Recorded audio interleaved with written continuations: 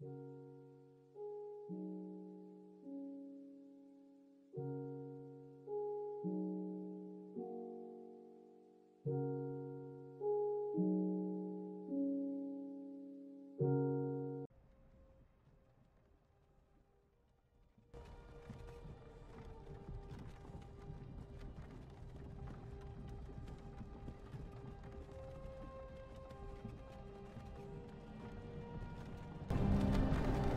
You're finally awake. The other day, I was doing my yearly Skyrim playthrough when I stumbled upon the many mines across the game. But this one had some ebony ingots, so obviously I thought, let me snag those. That was until I the game inform me I didn't have a pickaxe. And that's when I thought to myself, have I ever had a pickaxe? Let alone mind anything with it. What about the notch pickaxe, seeing as it's the big Easter egg of the game? Then my two brain cells sparked something. Re-released a billion times, weird creators, and you play it once a year for two weeks. They're the same game, and I wanted to see if I could make them the slightest bit similar. So today, I tried to see if I could beat Skyrim as Minecraft Steve. The rules are pretty simple. I can only use gear I craft, and I can only deal damages with pickaxes. I know swords and axes and shit exist in Minecraft, but if I just use them, it would remove any and all interest from the challenge. Two little things to keep in mind as well are I'll try to do smithing related quests as I come across them, and I'll try to use the notch pickaxe. But these aren't actually rules, just fun little additions. So with that, let's get started. I played the classic Skyrim intro for the gazillion time, then got to creating Steve, and to be honest, I think I did a damn fine job. Normally I suck at character creation, but I did well here. After this I just did the usual. Sprinted through Helgen, letting Hadvar do everything because I didn't have a pickaxe yet. And then the second I got out of that cave, I dashed to Embershard Mines. Now everyone goes here to jump these bandits on the average playthrough. But I was here for something extremely specific. There's actually a pickaxe here. So after picking it up, I finally got to work clearing it out.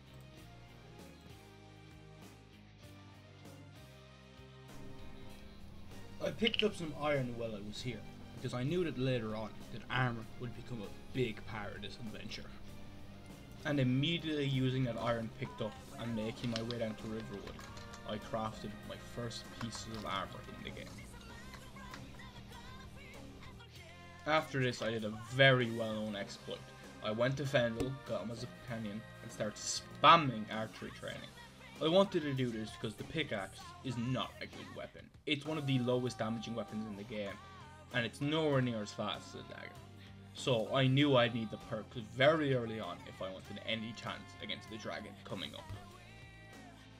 I then got unbelievably lucky as I was able to obtain a second pickaxe from Valerius. I had been looking for a second one since I began, as I knew dual wielding would be the only way to make the pickaxe a viable weapon. This is when I unfortunately realised that I had lost the clip of me killing the very first dragon. I had also crafted some new gear, so I decided to show it off to ensure that I had beaten him. To summarise the dragon fight, it was very long and very frustrating. It was mainly me letting the guards take pot shots as I ran up behind them and did the double heavy attack, which did most of the work.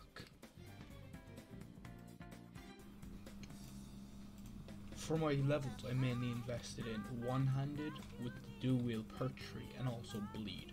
I mainly wanted bleed for the harder boss fights coming up, like the first time you fight Alduin and the fight against Soon, because I was worried without uh, damage over time effect, he would kick my ass, as he's definitely the hardest fight in the main story.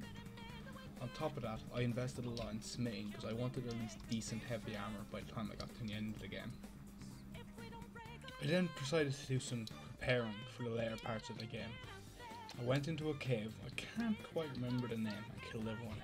There I found a transmute book, that let me turn silver into gold, which would be extremely useful for leveling up.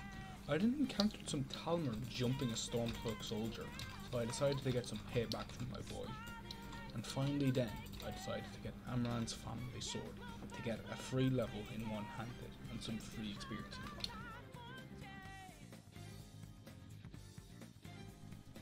I did a good chunk more of grinding to get my smithing up to a more respectable level. I mainly used Eorlund Gray-Mane at the Skyforge with the companions to level up my smithing, and then I'd run down to a one-handed trainer in Whiterun itself to level me up so I could get more training and create more ore. I mainly did this to try to get to level 30 so I could upgrade to Elven Armour, because at this point I decided to go with light armour instead to make my pickaxes have more stamina to do the two-handed hits more often.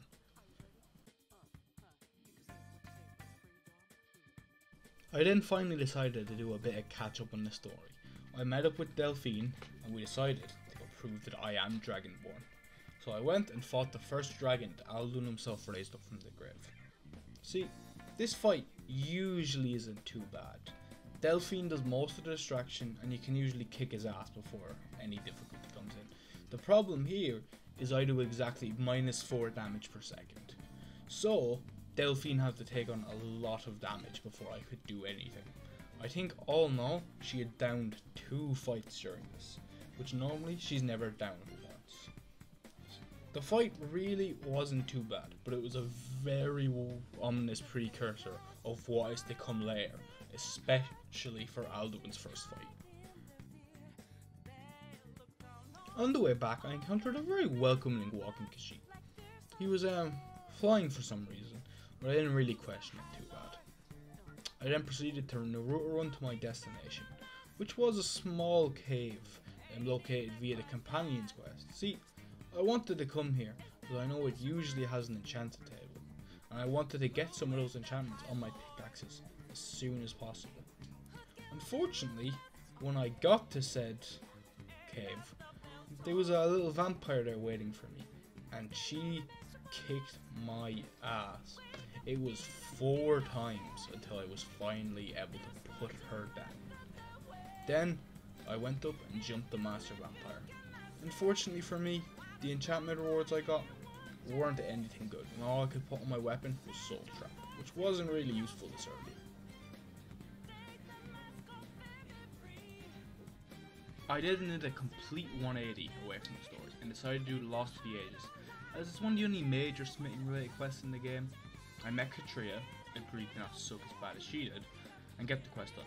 The enemies in here were a tad bit difficult, such as the spiders and spears, but useful, as they often contain both soul gems and scrap metal I could turn into dwarf ingots. I then got stuck fighting blind, naked old for a while, as they, like me, had realised the overwhelming strength and damage over time. effects.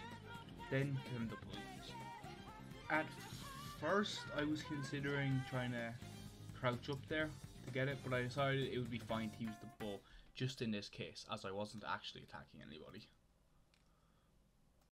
I got to the area to find my crown and a bunch of scrap metal, which would be very useful later. I then went all the way back to Whiterun and crafted it all up into beautiful, nice dwarven metal ingots. I then, finally, after so long, made a decent fit, as well as a backpack which has become customary for every single playthrough I do, as it's so easy to craft and has massive benefits. But with that, the Dwarven armor had finally been crafted, and I was dripped out, so now my endgame armor was complete.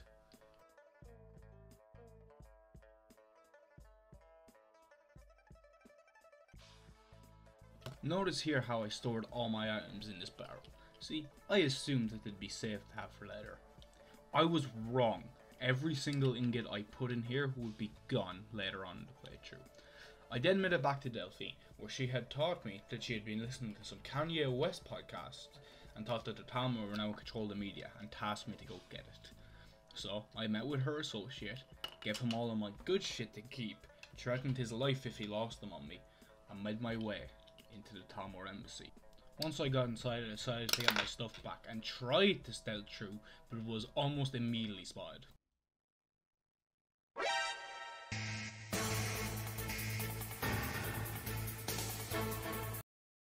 I managed to get the proof that the Thalmor control Hollywood, and by proof I mean a Twitter thread. I even managed to save Delphine's informant. Well, I did save him. Technically. But that was only until he pissed me off. I immediately booked it out of there and back to Delphine, where I informed her that Ernard, or whatever the fuck his name is, is still alive, and he just got sick of her shit, much like I have. I hit the enchantment table to upgrade some of my shit, and finally, after all this time, I managed to put a decent enchantment on my weapon. This is a major buff. No, it's an extra 10 points of damage, doubling what I could previously do. Frost may have been the worst type of enchantment to put on my weapon, but it was still good. After that, I created Vegetable Soup, which gave me near infinite stamina for power attacks. I did this as two-handed power attacks are the strongest thing you can do with dual wield. After this, I headed to the Ratway and tried out my new Frost pickaxe, and the damage was very much noticeable. I then convinced Esmeralda to finally come out of his gamer hole and help with the Dragon Rebellion. Edson Barboza informs of his plan that everything we could learn will be on just a big ass wall. As I made my way to the sanctuary, I encountered this fucking Lord of the Rings battle. Holy shit. It's really cool. Then I got nuked by a fucking flame atronach, which wasn't as pleasant as watching the battle from a distance. After that, I made it to the Troll of the World to speak with Alduin. I ignored him completely and went straight for the real prize. No, not the ebony ore. The actual prize. The notch pickaxe. Is it good? Not really. But is it why I did this challenge? Yes. So I was so very, very excited to have it. Me and Pirate Paradox got very intimate, which I was tad bit uncomfortable with. And he gave me a nice new little shout and told me exactly what I need to get. An Elder Scroll. Ah, ah, he said it! He said it! Normally there's a whole quest to track down where the Elder Scroll is, but as I've played the game a billion times, I know Septimus had it. So I sprinted straight to his gaff and got it. Well, I didn't actually get it. I just got the location of it in a nice big I felt immensely guilty after killing a fellow skoomer like myself. It really hurts to kill your own kind. I then got absolutely jumped by another group of blind old men. Like, these guys kicked my fucking ass. There's no other way to put it. This place, in general, was definitely one of the harder difficulty spikes in the entire run. Maybe the hardest, actually. The amount of deaths I had here, where I just could not do anything except spam healing potions, was frankly ridiculous. But eventually, eventually I cleared him through. I then got to my first big opponent, the Centurion. But surprisingly, it wasn't very difficult. Normally this guy kicks my ass, but I just kind of circled around him, hugged his legs, and smacked him in the arse. I then got to the most beautiful place in the entire game. Blackreach.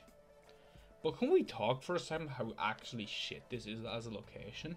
Like in terms of looks, it is stunning. It is beautiful. But there is just nothing to do. Not to mention how much higher a level everything is than you. Most things will one shot you here, even though you come to the story around the level I was at. But oh my god, there is like three things to do here, and none of them are interesting. I then did a quick bit of enchanting on my gear, mainly focusing on one-handed damage. As previously mentioned multiple times, the pickaxe has a laughable amount of damage, so anything to bump that up a little would be greatly appreciated. I then made it to that nice little vault that the Elder Scrolls kept in, and did what I usually do. Spam buttons until I finally got it. And with that, I was out of there. I then started another quest called Unfathomable Depths, which is a big smithing related quest about getting a book that will help you improve it. But to be honest, I had never done this quest before. I only knew it because I looked up quests related to do with smithing. So I was very excited to do it, and to be honest, it's pretty interesting. It's about following the ghosts of five people as they went down and explored this tunnel, and seeing what went wrong in this expedition and what made them die. It was just the usual Dwemer ruins, like most of Skyrim, but at least the layout was a bit different. So I honestly this was a pretty fun, and it was a unique change of pace. I didn't know a challenge run could introduce me to something brand new. I then had to fight another Centurion, but to be honest, I'll just let the full clip play out.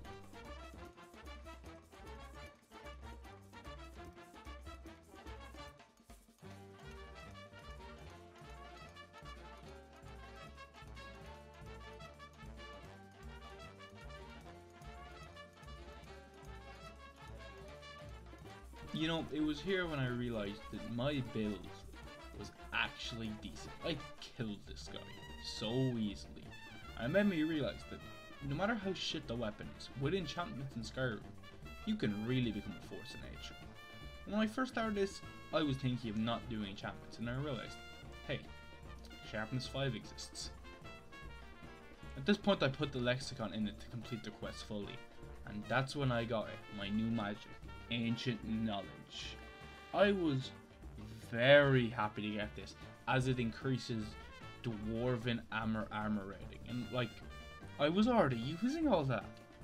It just it was a free 25% armor increase, which is a substantial amount. So with that, my build was pretty much complete. After much preparation and a lot of health potions bought, I headed back up to the throat of the world and started my battle with Alduin. Now see, this fight is usually the hardest fight in the game, especially if you're only dealing with frost damage, which at this point I mostly still was. But it surprisingly wasn't too bad. Maybe it's because of my absolute stock on health potions, but I was mostly grand. The pickaxes did just enough damage to keep them hurt, and the bleed really came in useful. So after a while of swinging and a lot of whiff shouts to bring them down, I ended the fight. I hit a quick little teabag at the end as the coolest fireball of all time landed during it.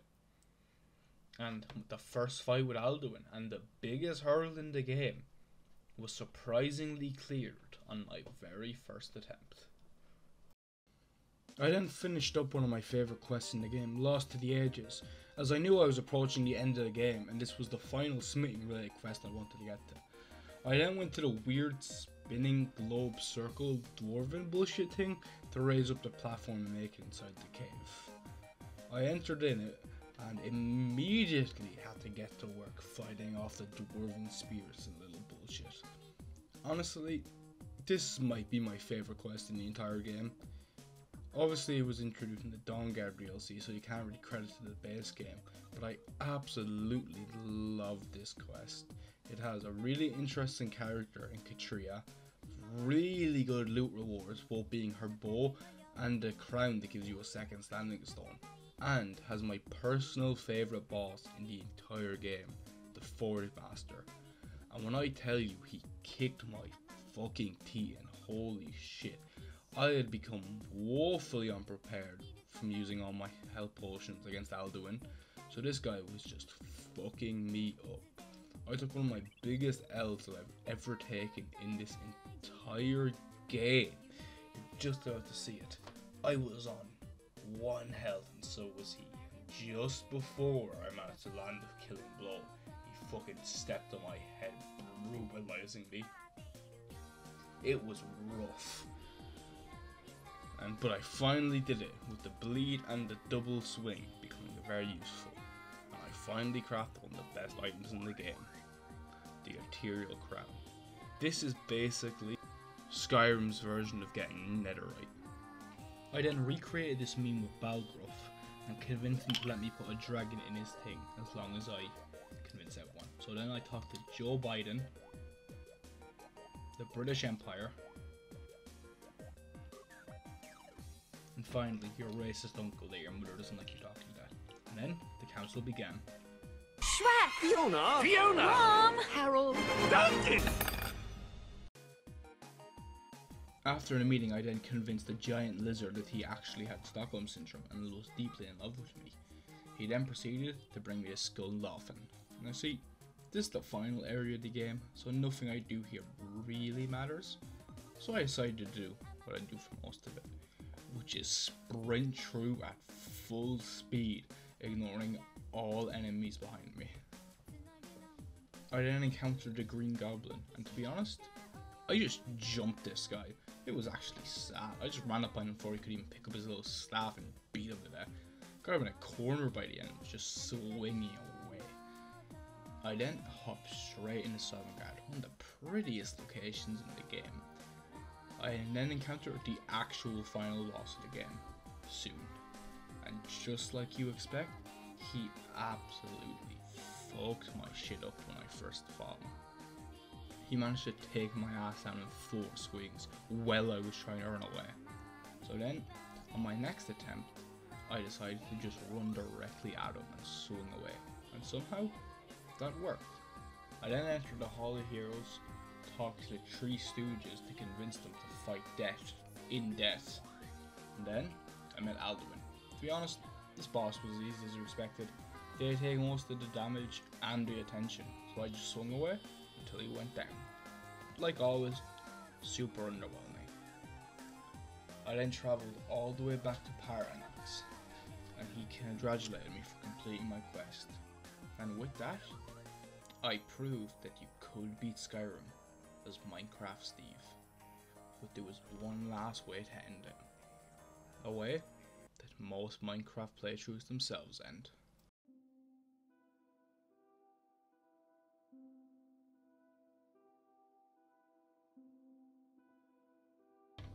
I'd like to thank everyone for taking the time out to watch this video.